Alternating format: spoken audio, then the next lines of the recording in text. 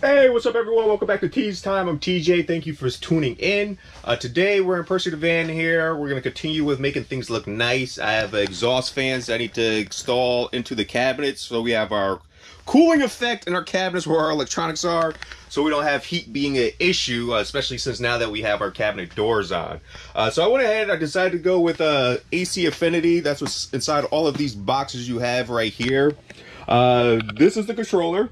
It's a four zone controller so that we can set the temperature uh, at each different cabinet. So that way, if one is hotter than the other, the only one that needs it will turn on. Kind of helps save power.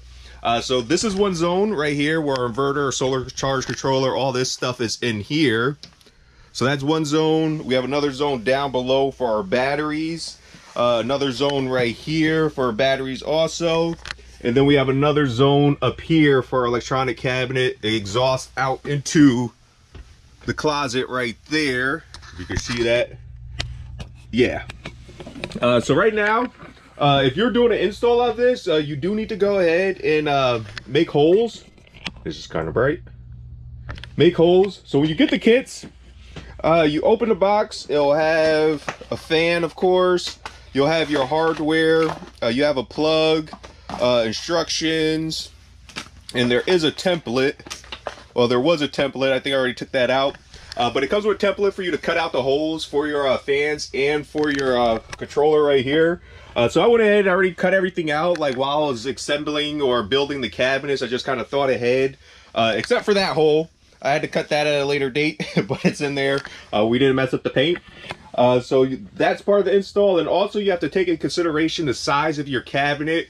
Uh, so uh, decide on your fans wisely, and uh, you should be good. If you go on their website, the AC Infinity uh, website, uh, they give you kind of like a sizing chart to kind of give you like a a guesstimate of like what you would need to cool your cabinets and uh, just think of like the high heat high demand stuff that's why i have a bigger fan that's going to be in this uh, cabinet right here just there's a lot of heat especially uh, when you have your solar going when the sun is going and then when you have uh, this going with the AC on, like that produces a lot of heat also.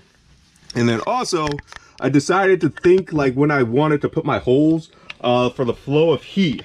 So uh, when you go in right here, uh, this is where the cold air will come in, but it will go all the way across all these electronics and exit down in the corner down here, right there. And then it also for uh, heat wise inside the cabinet, so I decided to start at that side uh, because the solar charge controller is the hottest thing that will be inside the cabinet. So all the cool, all the like the cool air coming in and the hot is going to be at the far end away from like everything. So everything's not getting like a breeze of hot air from the solar charge controller. Like if I came from the opposite end, like if I decided to go here and exhaust that way, it'll have to get all that heat from that solar charge controller over the things that are usually cooler. Uh, so just be mindful of your position of that and you should be good. But uh, it's pretty easy uh, to install. I do need to reverse a fan, so I'm going to show you how to do that. Uh, just because uh, when you get your uh, fans, oh, and there goes the template right there. But when you get your fans, they're all going the same way. You could pay a little extra to have them reverse it for you, or you can do it yourself. So I'm gonna reverse the fan. It's just a matter of uh, undoing the screws and just flipping the fan itself over, and that's gonna be reversing it. And then you also comes with these uh, AC adapters right here if you want to just do that to test it. So you plug this in. You take a fan.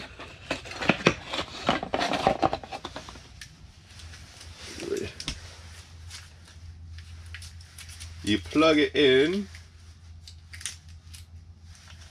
the USB AC adapter. Plug this in. And then you don't need an actual controller. I just wanted to do that so that way it could just control itself. I have to go to each switch. And you just turn it from low, medium, high. So that's high.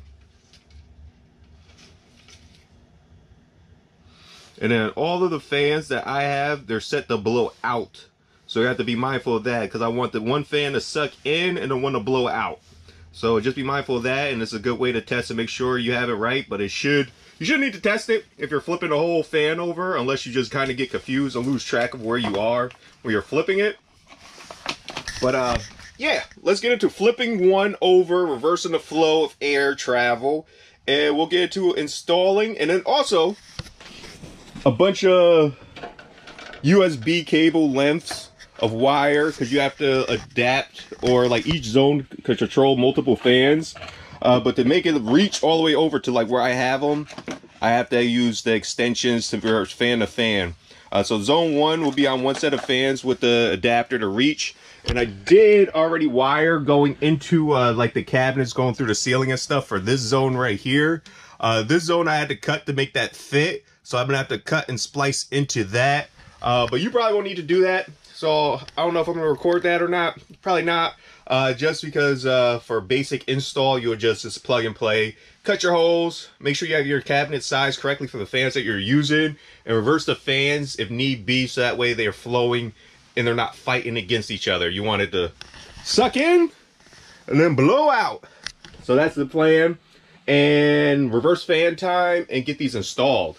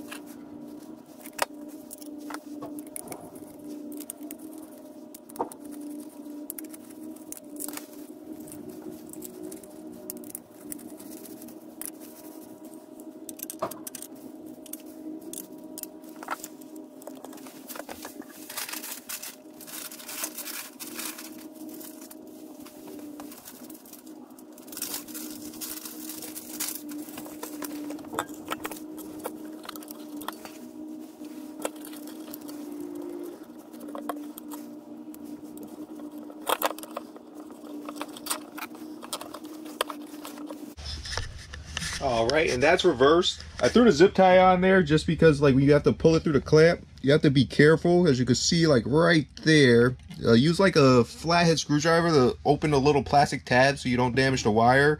I'm gonna plug it in right now just to double check, but uh, that's how you reverse. You just flip the fan like so, and then plug it in to test. Make sure wires and everything aren't rubbing or are not rubbing. So there we go. We got it reversed. I'm gonna check it on high so you can really feel the flow.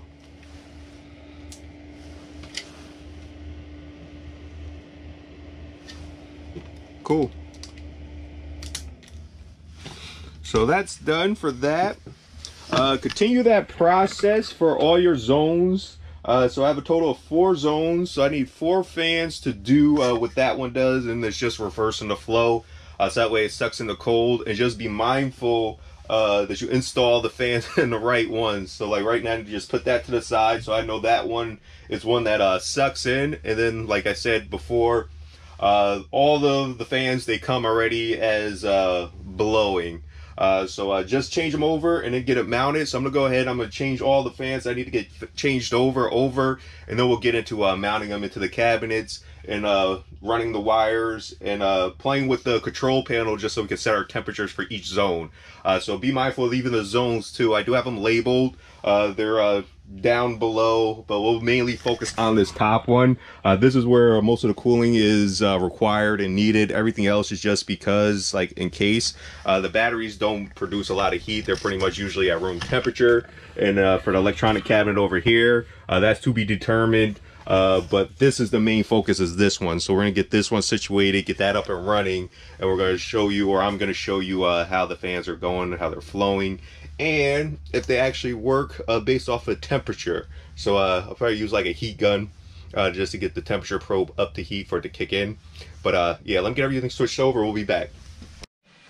All right, so I have all the other fans installed except for the fan right here that goes at the end cap uh, along with the control panel uh, right here. Uh, so we're gonna get those installed. I did lose uh, the screws that mount that. Uh, that's kind of like the only downfall when you take stuff out to uh, test fit. You got to make sure you don't lose your stuff. Uh, but like, luckily enough, uh, that should be snug enough to hold it in place until I could get some hardware for that. I do have the hardware for the fan. Uh, so we're gonna get that in, and I do have like these cables right here, these USB uh, extension cables, because uh, it might not reach all the way to the end. Uh, we shall see. Uh, if it reaches to the end, I won't use the extension cables, but I had to use those for uh, like the bottom fans under the bench to make that reach. all the other ones I didn't need to use, like we have this one right here going up to the closet area, and then also right here in the back that shoots up to the bottom. Uh, I didn't need an extension for those either. Uh, I just used the extensions like behind the walls where I ran everything like already going to where the control panel will live. Uh, so there's like extensions throughout the wall. And then I did use uh, like shrink tubing around like the connectors, like the hidden ones, just so like stuff didn't vibrate and come loose. Uh, so those are good. Uh, but right now we're just gonna get the fan in. And then like I said before, like once you have your holes cut, Hopefully you cut them to the correct size, not too big, not too small, just right. Uh, stick your wires through, like so. Fan goes in, and this is also a snug fit. So that's that. And then take your uh, control panel, take off the protective film, that goes in.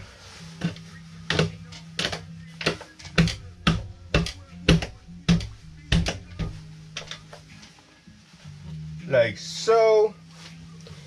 And then let me get those uh, screws right here installed on the fan. And like I said, I don't have the screws for those. I don't know where they're at. Uh, but that's not going to go anywhere. And I'll get hardware for that at a later date. Uh, so it still will work. Uh, won't be an issue. I just don't have the hardware. We need to get that. But uh, let me get that going. And then I'll show you how I have the wires. I'll show you how I have the wires connected from uh, the one fan to the other one.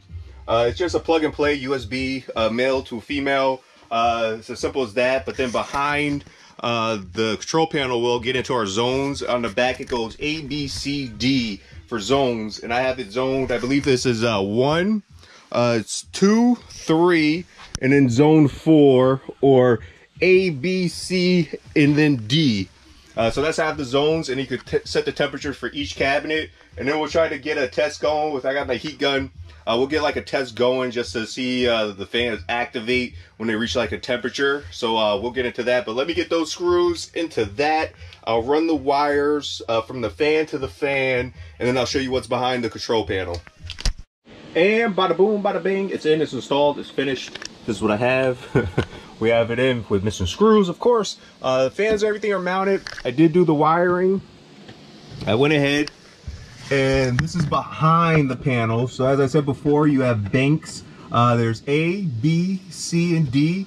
Uh, so four, three, two, one is how I have it labeled. Uh, so four is over on the opposite side in the top cabinet. Uh, three is down below with the batteries. Two is down below with the batteries also. And zone one, which I have right here, is uh, for this main cabinet. So this is what I'm going to use along with the heat gun to activate that. Uh, but that's the battery uh, or the AC adapter. I have to plug this in, and when I plug this in, we should have power, and everything should go accordingly as long as I wired everything correctly. So, uh, actually, probably could just leave that as is. And plug it in. The power is down below. The love below.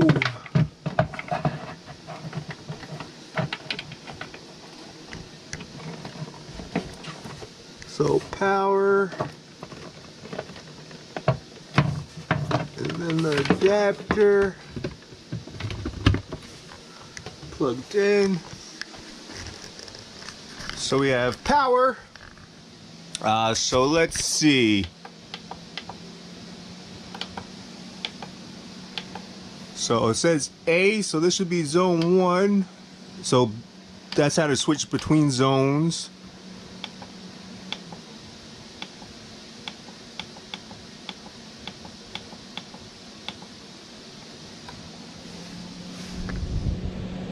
Okay, so that's how you could just turn it straight on. Let's make sure.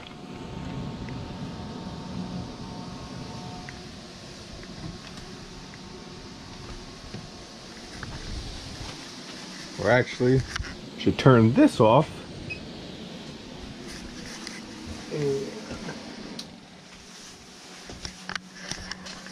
All right, off, alarm, and you can do auto. You can change the temperature all the way up to, uh, see what the max temperature will go up to.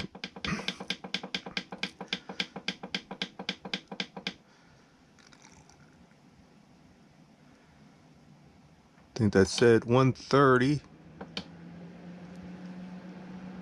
Oh, actually, we don't even need the, the heat gun because uh, it goes as it goes as high as 140 and as low as 32. So as we hit 32, it activates itself. It says probe is at 65. That's pretty cool. Like it lets you know exactly what the probe is. So let's go all the way to 66. It should shut off.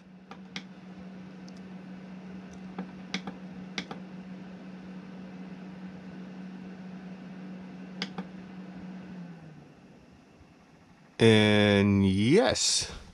And you could adjust the alarm this the exact same way. So that's successful, or actually, let me go through and test all the zones since uh, we just need to be at 67.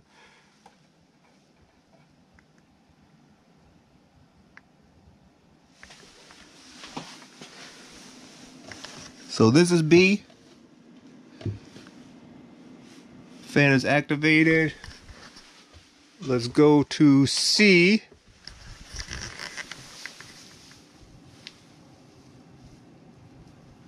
fan is activated. And you can adjust the fan speeds. Like if it reaches a temperature, I'm just gonna have it. Oh.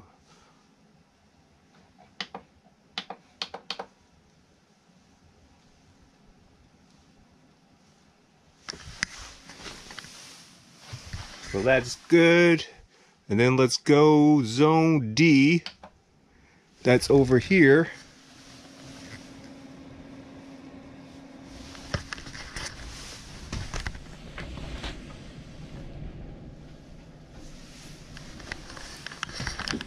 And yes, it works. Uh, so install is pretty easy. Uh, setup seems pretty easy. Uh, just scroll through the menu. Uh, so the menu at the bottom, you could either just manually turn it on or you can even do auto, smart, So you go through menus, auto, smart, on, off, and then the alarm. So the alarm is where you go to adjust for your alarm. Uh, yeah. So, yeah, pretty self-explanatory. I'm gonna go through and just check the temperature ratings and also with your probe position. It's always good to put your probe uh, near a component. Like I probably have it mid cabinet, like right in there somewhere, uh, just so you could adjust uh, or not adjust, but just kind of like where the, the heat uh, supply is coming from, like from the inverter or the solar charge controller. If you want to cool that, mainly put it closer to that. Uh, the solar charge controller is probably going to be the thing that gets the hottest. So I don't know if I want to put the probe like next to that and then just have the temperature uh, based off of what the solar charge controller is doing. Uh, the inverter itself doesn't really get too hot. It has its own little cooling fan uh, installed. Uh, that well, yeah, its own little cooling fan. So uh, the main thing is just the solar charge controller is the main heat provider in this cabinet. That thing right there is the hot. I put aluminum block behind it just to kind of help uh, isolate the heat from the wood and also to kind of dissipate some heat off of the back. Uh, there are like little cooling fins and stuff like that. Uh, but just the fans, since like the cabinet doors are closed, they just help with circulation. But yeah, we're getting there, or actually we're already here. We're just improving on here. So uh, until the next video, uh, well, thank you for watching. Thank you for liking, subscribing, commenting. And if you made it to, uh, if you even started watching this from the very, very, very beginning when I had the little sketchy videos, videos probably still a little sketchy. But anyways, I appreciate you. So until next week, um, yeah, just keep improving on improving. That's all I gotta say. Peace, DJ.